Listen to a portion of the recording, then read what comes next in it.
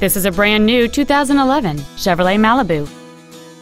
It has a four-cylinder engine and a six-speed automatic transmission. Its top features include an auto-dimming rearview mirror, a keyless entry system, a low tire pressure indicator, OnStar, and cruise control. Please call today to reserve this vehicle for a test drive. Hubler Chevrolet is located at 8220 South US 31 in Indianapolis.